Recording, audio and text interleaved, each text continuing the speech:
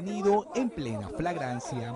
Solo segundos después de haber recibido una fuerte suma de dinero de este empresario al que venía extorsionando desde hace unas semanas, este avesado delincuente citó a su víctima en un conocido supermercado en el cruce de las avenidas Alfonso Ugarte y Venezuela en el cercado de Lima.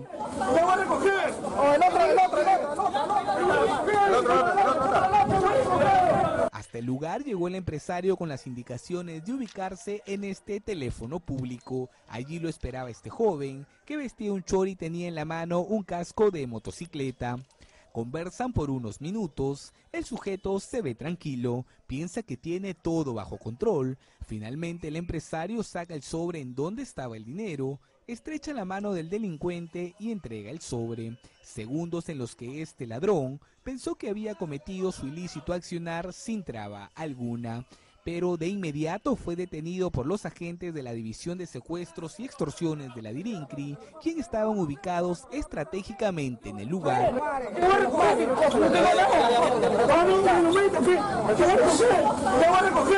Su cómplice, quien lo esperaba unos metros a bordo de esta motocicleta listo para fugar, también fue detenido.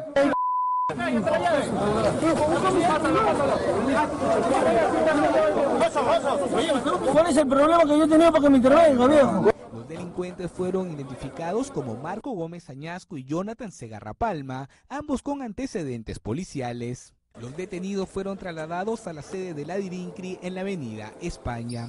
Si bien se pudo dar con su captura por una gran labor policial, fue fundamental que la víctima denuncie el hecho, pues esa es la única manera de atrapar a estos malhechores.